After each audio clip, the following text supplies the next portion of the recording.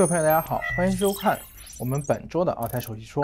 在这个星期的这个节目当中呢，呃，我们专门来讲一讲先买后付这个行业的一些最新的近况。那么做这期节目呢，也是因为有非常多的一些朋友和客户呢，啊，关注到了最近的先买后付相关的新闻也比较多。那么这样一些公司的在市场上的走势呢，比较有意思。那么呃，讲这个话题呢，一个很重要的原因是在。啊，五月底到六月上旬，尤其是这个六月的整个的上半月呢，啊，突然间出现了一波的啊，关于先买后付行业的一些可以说是负面新闻。就在几乎在这些新闻出现的同时前后呢，啊，此前呢，啊，曾经一度出现比较明显回落的先买后付呢，啊，到了六月份反而是一波明显上涨。这其中呢，啊，比较这个明显的，像一些这个啊领头的企业呢，甚至涨幅可以到百分之二三十都有。那么啊，我们也可以看到这个股价走势图呢，啊，除了这个 Senso 呢，啊，它可能在六月初大涨之后呢，后来有所回落。当然，比起五月份也有明显这个增长之后呢，啊，其他的几家都有在六月初开始探头，啊，在六月中开始发力上涨的这样的一个走势的迹象，啊，显现出呢，啊，市场的看法和这些新闻媒体的报道似乎有比较大的差别。那这中间到底是什么样的一个情况呢？那么首先呢，啊，先买后付呢，我们认为还是有非常巨大的这个前景。这个前景的核心是什么呢？是一个啊，行业整体行业的爆发式的增长和很多人的消费和支付习惯的一个巨大的变革的浪潮啊，这个是非常非常重要的啊。越来越多的人不喜欢使用信用卡，而且如果去按人群细分的话呢，可以看到呢，越是年轻的人呢，越不喜爱信用卡。那么是不是都回到现金了呢？可以看到，并不完全是这样啊。事实上呢，啊，更多的是所谓的借记卡的支付呢，在这个啊蚕食信用卡的支付啊，因为呢，呃，信用卡支付的这些这个方式呢，啊，往往带着一种鼓励大家啊，不考虑自身情况的这个啊超额的超前消费，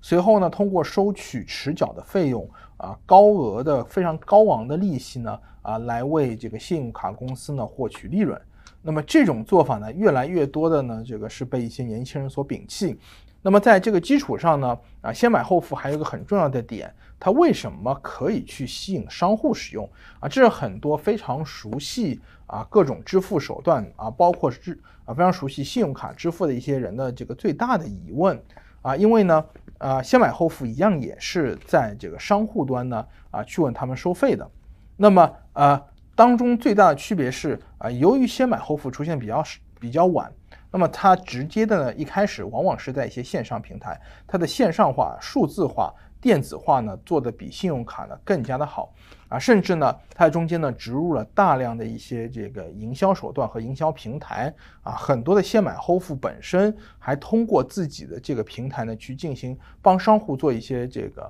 啊，推销啊，促销的手段，所以它除了一个支付方式之外呢，还增加了更多的营销的作用。这比普通的信用卡对商户来说呢，就有更多价值。而在客户端呢，啊，通过这个方法呢，他们其实是节省了不少的资金啊，甚至呢，经常呢也会收到很多的一些促销的机会。那么这两端呢，都得到了一定的额外的附加值。那么啊，这种做法和信用卡其实确实是有比较大的差别的。那么啊，最终它在商业逻辑上和它的这个市场进入市场啊，使让商户和消费者使用它的逻辑和信用卡是有比较明显的差别的。在这样的一个基础之上呢，我们可以看到啊，它未来这样的一种增长。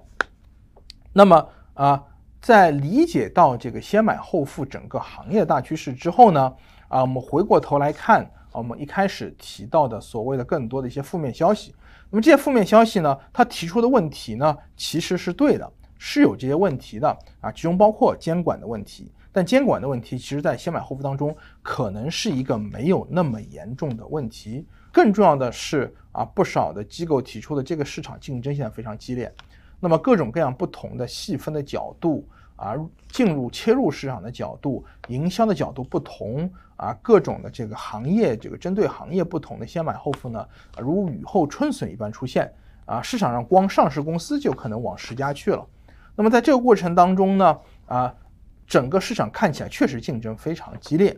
那么啊，真正的这个啊机会到底在哪里呢？啊，如果我们去细细的这个捋一下的话呢，就会发现啊，如果我们去看细分市场的话呢，啊，看先买后付呢，把它放在整个的这个支付市场，甚至我们把信用卡这个支付呢也放进来之后呢，啊，就可以看到啊，整个的这个行业如果去按客户的信用等级去算的话呢，你大概可以分成低质量的这个客户啊，中等质量的这个啊消费者和。高信贷质量的这个消费者，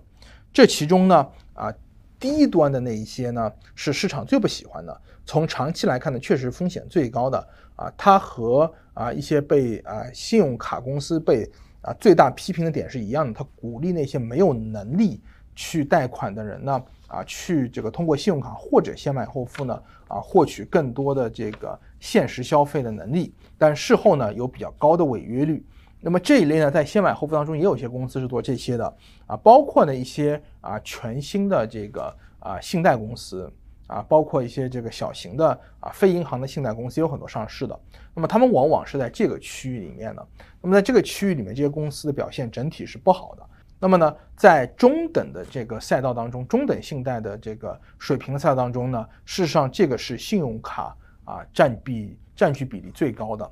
相反呢。啊，在这个非常高级别的这个信贷市场当中呢，啊，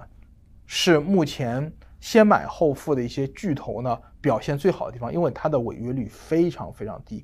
由于它的违约率非常的低，啊，很多监管机构对它的质疑，其实呢，啊，在某种程度上来说呢，通过极低的违约率呢，也体现出这些质疑呢，其实本身呢，啊，它的有效性是有限的。那么在这个市场当中呢，信用卡接触的相对有限，因为如果我们去看模式的话呢，如果是一个非常高啊信贷能力，然后呢几乎不支付利息的信用卡的使用者的话呢，对信用卡公司来说价值是有限的。信用卡公司它的这个收入大部分啊来自于利息和其他的这个迟缴的手续费的收入是要超过它从商户收的钱的，这一点和一些这个龙头的先买后付企业当中是有巨大差别的。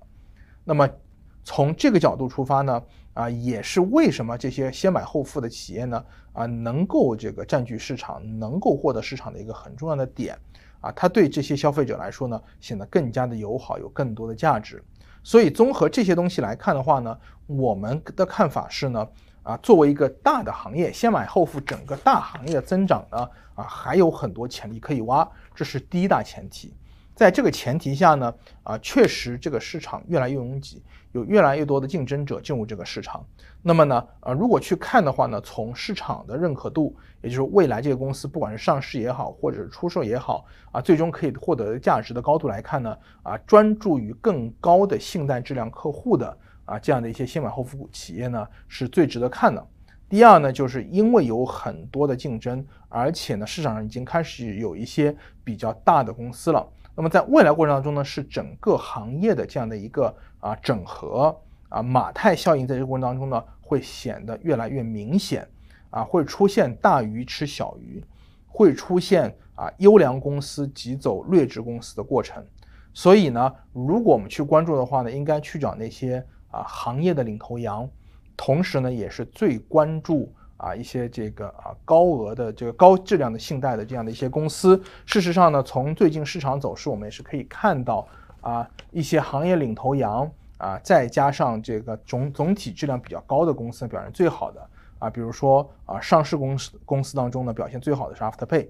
啊虽然说 SIP 也是属于行业领头羊之一啊，开始的时间不会比 Afterpay 短。但是 Zip 它所关注的客户呢，信贷质量比 Afterpay 就要低一个等级，差不多在中等，所以呢，Afterpay 的表现就要比 Zip 呢显得更加的明显，而且这个体量呢正在啊越来越多的这个超过和这个拉大和 Zip 之间的关系，所以在上市的公司里面的话，大家如果去看的话呢，还是应该把更多关注点呢放到 Afterpay 啊，只要股价出现比较明显的回调呢，啊，大家还是可以去干。那么呢？在未上市公司当中呢，还有一家更大的这个这个呢，其实是先买后付的真正龙头，它体量可能啊，用不同的数据去比较，不论是从签约上户数啊、客户数啊、它的交易总量啊、它的这个收入的这个总量来比呢，都是 Afterpay 的三到五倍啊。这样的一家公司叫 Klarna 呢，它暂时没有上市，如果有机会投的话呢，啊，这个呢也是一个这个未来啊行业的领头羊啊，最终呢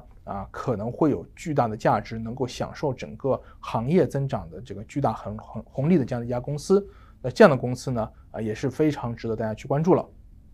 好了啊，以上就是我们今天的首席说的所有的内容，谢谢您的收看，我们下次再见。